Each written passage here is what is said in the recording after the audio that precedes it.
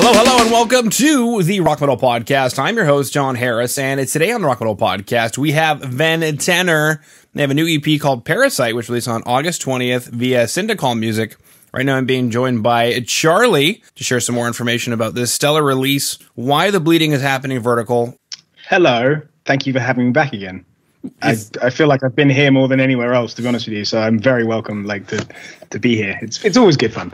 Yeah, it's a good chat. Good chat indeed. Well, you know, I figured Samantha. I woke up this morning and Samantha's like, "Hey, you're talking to Charlie first. and I was like, "Woohoo!" So I clicked my heels, and then I went. I went outside for a for a brisk moment because you guys are having a bloody heat wave, but here in Canada we're having frost and we're getting ready for the the epic moment that everybody knows Canada for, which is winter. When does that start, like over there? Because that seems to be like a longer affair than most places. Yes. And that also depends where you're at in Canada. Where I'm at in Canada, in the middle of nowhere, that typically starts around October, like late September into early October. And that can go all the way into April slash May, give or take even June. We've even had snow in July. So that's savage. Yeah. Whereas like Vancouver, they never get winter. And if they do get snow, they're like, what do we do? And we have to send them equipment. Uh, and then you get into Eastern Canada or like real Canada, like Toronto and Montreal, like where real Canada is. And they have like a proper seasonal change. So their winter starts in like November, December, and goes until like February or March, and then they're done with it. Last time I spoke to you was just after the last album, and it would have been like December, I think maybe 2020, or like maybe yeah, I think it was like November or December 2020. Yeah, and I remember you saying it was like minus 20 and it was silly cold and yeah, um, yeah. Well, my sympathies. Well, thank you. Do you need me to send you? Do you need me to send you socks or anything, or like good blankie? Yes, good British socks and blankie will help defend against any Canadian winter, which is what we learned from our our uh, Thanksgiving stories here. That when the Pilgrims yeah, came yeah, over, yeah, when the Pilgrims came over, they they were they taught the natives how to handle the winter. That's with their socks and their yeah, blankies. Exactly. That's, that's yeah, that's what colonialists do, right? I mean, they, they tell the locals how to do it better. Like, yeah, um, this got dark fast. Uh, yeah. Cool. Well, we better talk about neon then, because that's bright. It is. Mm-hmm.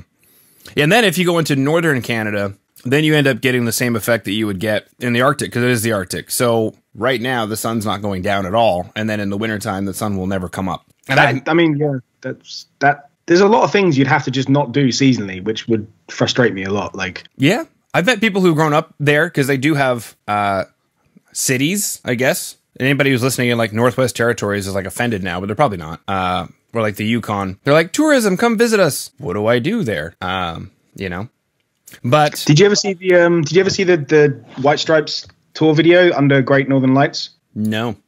It's really good, uh, but it was just him and Meg White, and they went on a tour of like really obscure little like Inuit villages and like Northern Territory parts of Canada, and to the middle of just fucking nowhere, and then played songs for like you know little uh, Inuit communities that just hadn't probably ever seen any like you know American bands come through there ever. Yeah, um, and yeah, it was pretty cool. You know, ate local food and checked out the snow and stuff. Yeah, seal, seal, yeah, whale, yeah. all that stuff. Yeah, yeah. It's gotta gotta be freshly killed. It's gotta be warm when you're eating it.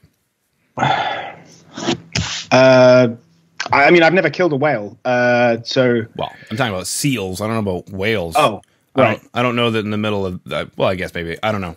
I'll be fair. I I'm pretty typical white Canadian dude. I don't know much about what goes on up there other than stereotypes. I have had that conversation though with uh, an indigenous friend who's from Northwest Territories who moved down, and uh, yeah, he said he wasn't too terribly surprised that I didn't really know much. I mean, that is kind of the way, though. I mean, most people in England haven't been to Stonehenge. You know, pretty much everywhere I go in the world, I'm like, oh, have you been to see the thing? Like, no. I'm like, you lived there for 50 years. Have you not seen the thing? But yeah, it's just kind of the way, isn't it? You know. Mm-hmm. Very true. Very true. Okay. I mean, we neither of us live in China, and we both study Chinese martial arts. Very true. Yeah, I feel like I've got connections in Chinatown now. You've got some clout, like. so, true story. Today, as of recording this, September 18th, I was supposed to do a kung fu demo at West Edmonton Mall, which is it, it, it kind of varies. The same people own Mall of America, which is the largest mall in America, and then West Edmonton Mall, which is the largest mall in Canada. And each year there's a top up between which one is the largest one in North America total. It's a big freaking mall. And anyway, they're doing a kung fu demo and they're like, you know what? It'll probably be okay. But our premier decided on July 1st on Canada Day that the pandemic was over. So now we're like really in the shitter, like really in the shitter. Like they've they're closing down hospitals. People are being sent home. If you have cancer, they're like just die out behind the dumpster quietly, please. Um, they've even closed down the kids' hospitals, which I had to take a moment for. I'm probably going to take a moment after I say that now, because like Yeah, that is brutal, man. Like, wow. yeah, once the kids can't get you know their treatments, that's that's too far. yeah. you know. So we've declared uh, an emergency so that the conservative government can ask the liberal government for help that they're then going to say was their fault the whole time anyway. Bup, bup, bup, bup, bup. Um, yeah, but the conservative government's now gone gone into hiding, which is cool. So we have a federal election going on right now, and the federal leader's gone into hiding after this. Premier's gone into hiding after this. Like, ah, oh, good to see you guys screwed yourselves out of an election just by being yourselves. Yeah. Um, wow. Yeah. So it got canceled, the event. And then there was a point where my Sifu was like, Well, did you want to do Chinatown too? And I'm like, Well, hold on a second. Whoa, whoa, whoa. This is how movies start. Some white guy comes into Chinatown It's true. thinking he can do something. This, this, I, Yeah. I don't know. He's like, All right, you know what? You'll do a weapons form, a hand form at West Edmonton Mall. So I was going to do Gunglikin. And then uh, I'm going to do a Billy Club uh, weapons form potentially on Chinese New Year in February, but that's really up for grabs because who knows what's going to be happening here in February. And I'm also probably going to be in the middle of moving into my house around that time. Cool. Yeah. Great. We're leaving London as well, actually. I know you mentioned that like two years ago. You're going to Vancouver, and then the pandemic happened. Yeah, so now we are moving to Cornwall in the southwest tip of England. Okay. Um, That's a- in like 11 months. wow. So, yeah, um, moving to coastal country life um, for a while. Yeah. You could resurrect the whole language and, and culture and everything. It's, do you know what Cornwall's really like? They're really strong on their stuff. Like they have like loads of uh, the sort of the traditional kind of Cornish language signs down there, and they're still really like connected like to their old past of you know traditions and witchcraft and all that kind of stuff down there. It's really cool. It's a really cool part of the world. Yeah. And they're they're okay with you being there. Yeah, I mean, I asked a few people; they seem fine. Okay. Um, but like, Excuse there's no me, one you can sir? ring. Like, hello, Cornwall, can I Yeah. come? Like, yeah, it's- I won't bring a flag this time, exactly. Yeah.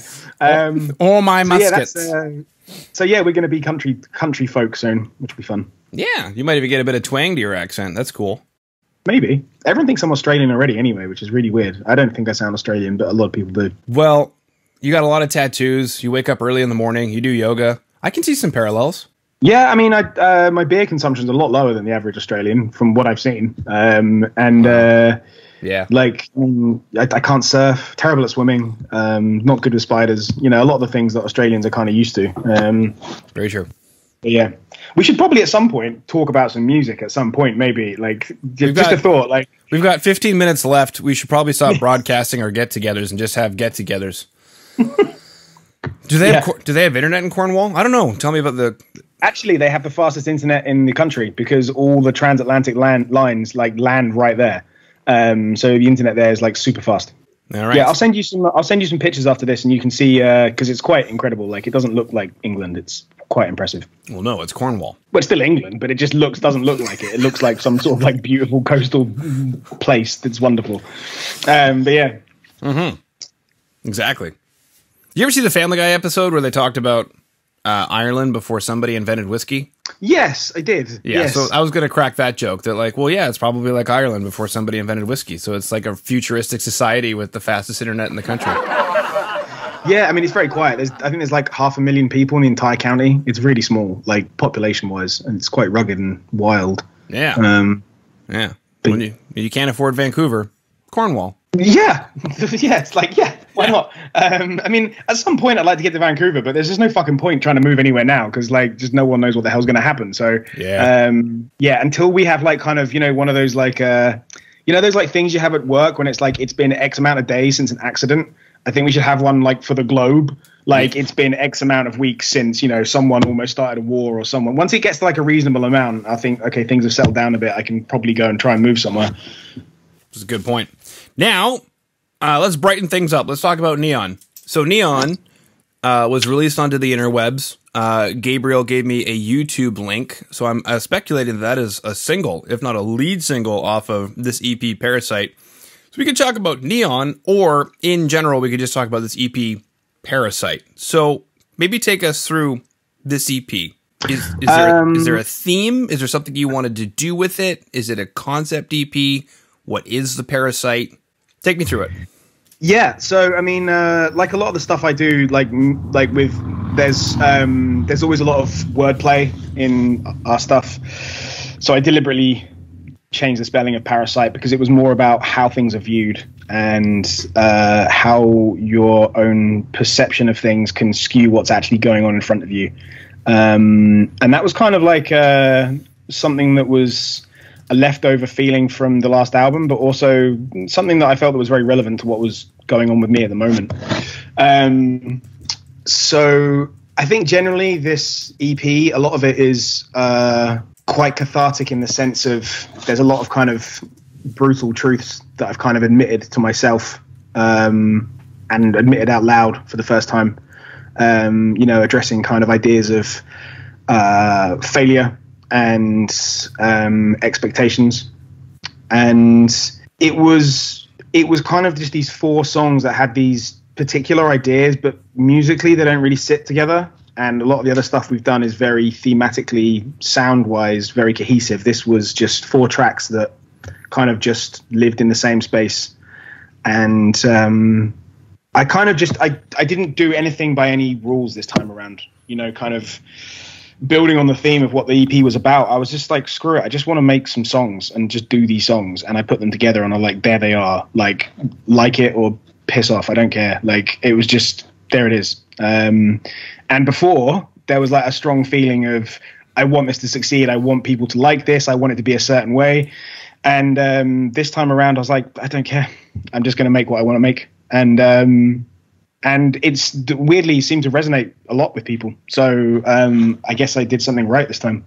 I have lots of questions and lots of uh, sardonic comments, but one of my first questions, just to keep the interview rolling positively, is what took so long to get to the point where you are willing to just be an artist living in a public space where people can just see you wearing your heart on your sleeve and you're okay with that? Um, I think. I mean, any. I mean, I've never really kind of shied away from brutal truths on my um, on my previous albums. Like lyrically, they've always been quite sort of stark and quite out there but it was always i think the the themes that i was dealing with were this is something i've overcome this is something i'm dealing with but i'm gonna you know kind of get through it. This is something that i'm kind of figuring out how to embrace. So even in the negative there was always like a positive slant on this on it on the things that i was doing and i was always thinking well hopefully people will you know attach themselves to that and maybe get something positive from that. This last ep though this was more just about it was just about failure. It was just like i give up i throw in the towel I'm done. Don't care. Like, can't do that. Mm-hmm. Um, so there's very little lyrically and thematically in that EP. There's very little hope. Um, it's so yeah. I mean, it's, it's very dark in that respect. Like, there's just there's like there's not a lot going on there that's redemptive. Um, well, you know, uh, be- and I think I had to get to that point because you you spend you know 10 years doing music and you've always trying to sort of project the level of success of yourself and the others around you and publicly and everything else because you want to build on that. And obviously you want to keep things positive but you know sometimes you kind of have to just go oh do you know what? I'm just fucking tired. Like mm-hmm. um and just you know call it how you see it. Yeah. which is where that term parasite came from you know? I was i was looking at things in the wrong way. Yeah I, I was just quiet for a second so i could let the audience if anybody is listening in statistically they're not anymore but for anybody who is, thanks for hanging out. I agree with uh, you being here. Thanks for chipping in. Click subscribe or something. Um, but maybe they tuned in because I don't know. Charlie looks great, and he does. Um, I think. What was I going to say? I don't know. I think we've reached a point in the pandemic where just a lot of us are like, screw it. Um, you know, I think in the beginning when the pandemic was fun, right about that space between like we're gonna camp out and toilet paper was missing, there was that hope of like, hey, life might change for the positive. Like we might choose to do something different with our lives. But I think a lot of us just kept going. And then now it's reached a point where we're like, I'm burned out, man. And I'm burned out because blah, blah, blah, blah, blah. And having that real conversation with yourself where it's not just a theoretical conversation anymore of like, I don't really like blah, blah, blah, but eh, this will pass. Almost two years later, it hasn't passed. And we now are looking at it probably going on for another year, maybe even two years, because of certain individuals and their actions that unfortunately take up 30% of the goddamn population. And. Yeah. let's hope they're listening. let's, ho- let's hope they're listening. And no, I don't respect your opinion. Go fuck yourself. Because uh, your opinion sucks and it's hurting people. Yeah, they do. Yeah. You're welcome to have your opinion if it's constructive and positive, but once it's hurting people and killing people, and children can't get operations done at hospitals because there's no more beds available, your opinion needs to stop. But that's yeah, that's, yeah. I mean, like just there's a lot of dumb opinions out there. Like one of one of my friends is like got really into flat Earth stuff recently, and I'm like, like I mean, you can't like, be Australian then because you don't exist. Yeah, yeah. I was like, cool, go nuts. But the, the, thing is, yeah, it has no real life implications. You just people just think you're a dick at parties. That's literally it. Like, yeah. um, it doesn't affect anything. Whereas, yeah, when people are kind of having opinions about real world shit that actually makes a difference, then yeah, it's um, it's Come- it's become a very kind of uh, charged environment in that respect. Yeah. Um, with a lot of things. Yeah, but I mean, even even myself you know, looking at things is just starting to get burned out from dragging on. And once that physical exhaustion starts taking place or that mental exhaustion or that soul exhaustion starts coming in place, you know, I just look at somebody like Amanda who's just like boop, boop, boop, with her yoga shirt on. And I'm like, can I take those pills? Like, what are you, what are you? yeah, I mean, I, I, you know what the, the burnout thing is definitely true because I think if if the pandemic hadn't have happened, maybe things would have gone differently. But I think because of the kind of like, I've just kind of had enough of that. Like, I think I started just reflecting on other parts of my life and just kind of getting rid of people and going, oh, actually, you suck. Go away. Like, I'm done with you. Yeah. And that's kind of how this EP felt because after all the kind of time we'd spent going over stuff in the last year or 18 months and just kind of finally getting the album done last year and then kind of going, look, we've done this really cool thing. And then all the people in the industry uh, kind of just like the the important people, the people that make the decisions, just going like, eh. And I'm like, oh, do you know what? Fuck you. Like, you haven't made anything. Like, I'm gonna stop pandering to you. Like, I'm gonna stop making like presenting this in a way that I think that's what you want to see. I don't want to go on tour with your band anymore. You suck. Everything sucks. And I'm going to write an EP about that. And because um, there's there's just only so much positivity you can give when you just get nothing back. And after a while, you're like, I'm just done. Like I just don't care. Like yeah. um, it just felt like a kind of weird. Uh, I felt like I was going through like a divorce from like the industry, like a kind of this toxic relationship that was only only ever going one way. And eventually, I was like, you know what, I'm done with you guys. You you all mm-hmm. suck. I have no interest in being part of your industry. Yeah. Um, yeah. Well, and I mean, uh, so yeah, that was kind of the reaction to to that. But yeah. So far, like a lot of people have said, it's the best material we've put out, which is ironic. Um, so I mean, isn't hey, it I, ironic? Don't you think? The only reason I just I just saw your fellow Canadians. Yeah, Alanis Morissette because she has a HBO special coming out that she does not endorse because she does not like the way it came out. So Alanis Morissette was on my mind, and you said it was ironic. So being Canadian, I have certain playlists stuck in my head, and Alanis is one of them. Strong, powerful woman. I was listening to her. Speaking of the '90s, I was listening to her the other day, and I was floored. I was blown away. I was like there is no auto tune on this. This there's no Pro mm. Tools. This is all to tape. This is wow. Yeah, no, no, she's she's she's she's good. She's she's good. Yeah, yeah.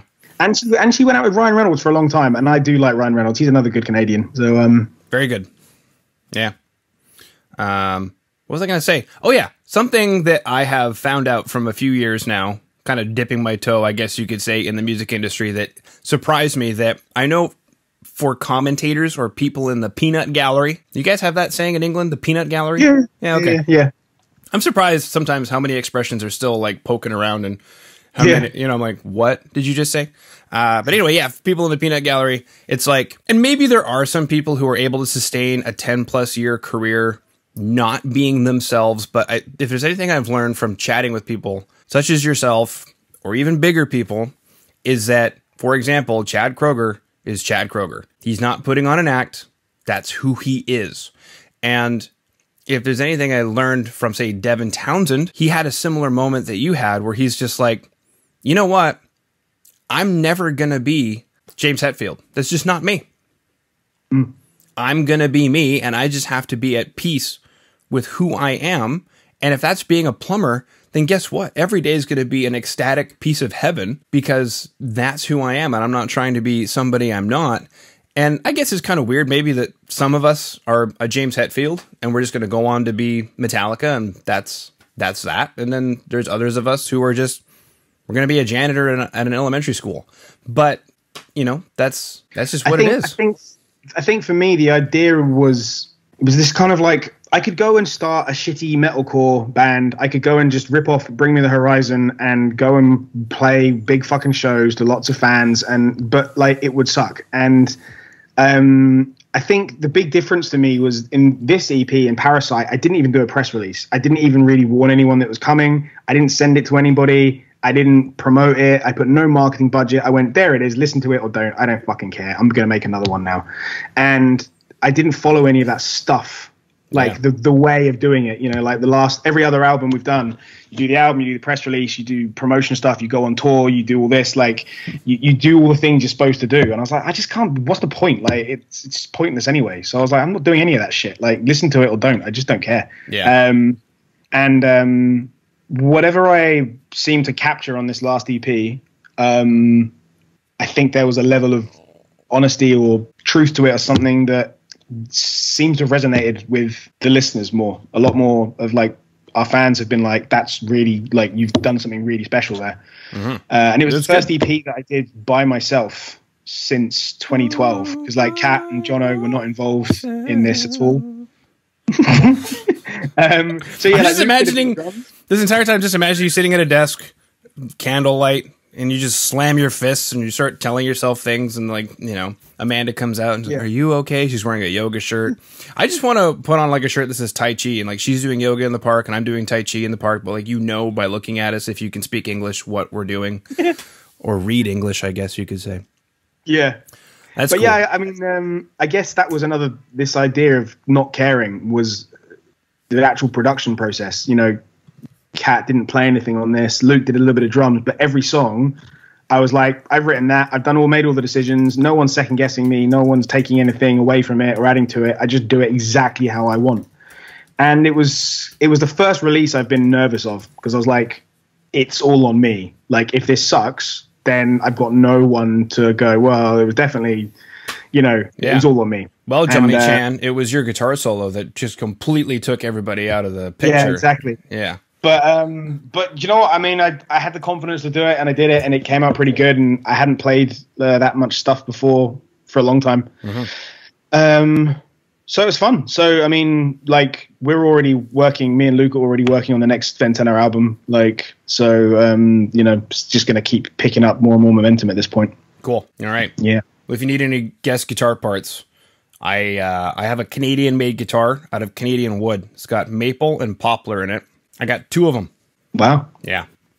Does Does Gabe prep you for that as well? Does he give you like mm-hmm. notes or you know kind of tell you okay cool. yeah, yeah. it's right. good that you've got this like mini me that like just does all your stuff for you it's great like, I, know. mean he's, he's he's really paying his rent there like he sure is I love that guy all right so anybody who's still listening in today we got caught up on life which you got to witness we chatted about kung fu momentarily we chatted about moving to Cornwall we chatted about playing from the heart we chatted about the EP Parasight and how it's to play on words. In today's show notes, you can go to ventenner.com down below, as well as click on the link for Neon. And the EP is available wherever you consume music. So please do.